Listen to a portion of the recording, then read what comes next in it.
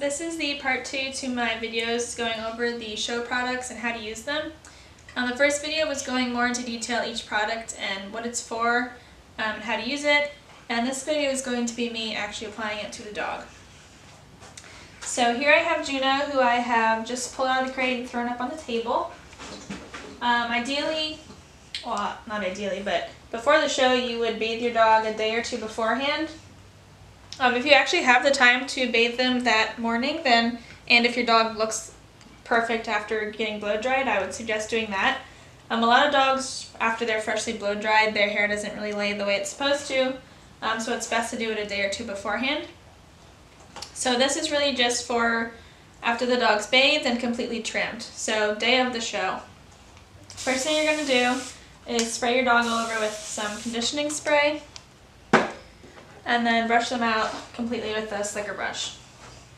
I have another video um, going over more in depth brushing the dog out, um, but they shouldn't be too terrible since you should have just given them a bath. So this is really just going over them real quick so that they're completely brushed out. Um, after you've done that, the next thing I will do is take a spray bottle just of water um, and then combine it with the force dryer, um, spraying the dog all over and making sure they're really damp to the skin. If your dog has some areas where maybe their top line dips a little or they're really curly, then we can go ahead and add some mousse or Barbasol actually to the hair. So for her I probably wouldn't need to add anything, but I'm just going to add some so you can see how to use it. So here I've got her pretty wet. Also do the feet, the hocks, and actually the head. If your dog's okay with you blow drying the head, it's really good to get their head damp so that their head looks fluffier and bigger. So there's really two options here. Um, Barbasol will give you a stronger hold. Um, and I would just use this sparingly in areas where you really need it. So just a tiny dab. And normally the biggest areas to use this would be behind the shoulders because a lot of the top lines dip. So maybe there, and then this is just some Tresemme um, human extra hold mousse um, that you can use if there's anywhere else that your dog would need some. Maybe on the stifle to give them more angle. And if their butt hair, if they have too drastic of a croup, you can put some here so that their hair here stands up a little better so it's not so drastic of a slope. So basically anywhere you want the hair to be a little more thick or hold better, you would put some mousse or barbasol. So after you've done that, this is when I would get them even more wet using the force dryer. I'm actually going to pause the video so I could talk over this because it's going to be too loud. The purpose for using the force dryer with the spray bottle is to blow the water all the way to the skin and the roots of the hair. The reason for this is to revive the hair to look like they just got a fresh bath, and also you can leave the undercoat a little damp so that the hair doesn't get too flat before showtime. Just be sure that the top coat is dry to the touch by the time you go in. So as you just saw, I was using them both at the same time all around the dog. You should also do this on the legs as well, and actually get them a little bit more wet before starting to dry. I do have a full detailed video on how to dry your Aussie, and here you should be also using the same techniques. Since I already brushed them out earlier in this video, I am only using a pin brush for this instead of a slicker brush. Alright, so after I have force dried their body, I'm still using the pin brush here just to tweak the hair where I want it to go so it's all going in the right direction. Um, normally, a lot of people uh, brush the head forward to give them more of a um, more drastic stop. So we would brush that up. Um, and then anywhere, like say she was dipping a lot in her, right behind her shoulders, you could use the pin brush and just kind of back comb it a little bit so it stands up better. And then lightly brush it so that it's level. And since we put the mousse there, the hair will hold better where you leave it. So now we, uh, we're done with the body. So now we're going to move on to the legs. Um, like I said in my other video, if your dog is white enough and has good bone, which she pretty much does, really all you need to do is after you've dried it, just brush the hair up. And if you haven't put any product in it, it is safe to use your regular slicker brush. If your dog needs some more bone, this is where you would add some Barbasol. So I've just got a tiny bit.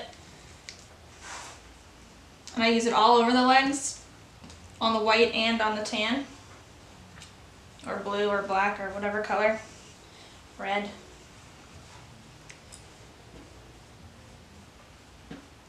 So that dries up pretty well. And that acts as a mousse, it holds the hair. So if that's all you need, then you can just brush it up and be done with it. I haven't trimmed her legs, but you should refrain from trimming after you put product in because it will kind of dull the scissors and uh, make you have to sharpen them more frequently, but a lot of times the hair is going to look differently, so you would come and just trim a little bit after you, you're done. Um, if your dog does need some more white, this is where you'd use the cholesterol. So again, just put a little bit in your hands and just on the white parts here. Because this leaves a more wet, um, clumpy look. And to alleviate that is where you would add the powder, which also obviously adds some whiteness. I'm going to put a towel down real quick so it doesn't get all over the table. But using my soft brush here, get some powder. Don't want too much on the leg. And then brushing backwards. Every time you apply the Barbasol, the cholesterol, and the powder, you're going to brush up the leg. Because you want to make the hair stand up better. So brushing up with the powder. I just put it everywhere I added the cholesterol. And after I've done that, I'm going to switch to my slicker brush that I use on the feet because this is the one that has the product in it. You don't want to use the same slicker brush they use for their body for their feet. Once it has product in it, it's really hard to clean and use the same way. So that's why I have two different slicker brushes. This one's just for the feet. So after I've done that, that's basically it. I'll pick up the foot and spray all over with hairspray. Stick your nose in it. And then you can brush up one last time. Make sure it really stays. Make sure those feathers aren't sprayed the wrong direction. But then that's it for the feet. Um, I do the same thing on the rear feet with the cholesterol, chalk, barbasol. Um, you could actually go really high up here to, if they need more um, stifle curve. You could add barbasol and comb the hair back there. Only difference with this one is Make sure to use the comb on the hock so that the hock hair is straight out. This obviously needs to be trimmed, but after you've done that, you would hairspray it to make it hold. Um, she is still damp, so I would maybe dry a little bit more, but whenever I go up to the ring, I always bring a spray bottle to keep spraying them a little bit to make sure they look fluffy and full.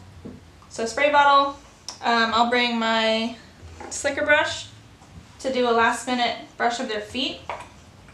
But the least you can touch it, the better the hairspray will hold. Um, and I also bring a comb to the ring, that way I can, I normally have my hair in a ponytail and I'll stick it in my hair and bring it into the ring. That way I can brush out their hair and their hocks once I'm in the ring. This almost never stays where you leave it, so it's really good to bring a comb into the ring with you. But that's pretty much it. Now she's ready to go in the ring. Um, if you guys have enjoyed watching my videos, feel free to subscribe so you can get uh, alerts of my new ones. I don't always post them on Instagram when they're ready. Um, so if you subscribe and catch them on YouTube, that'll be the fastest way. And feel free to share them. So, thanks for watching.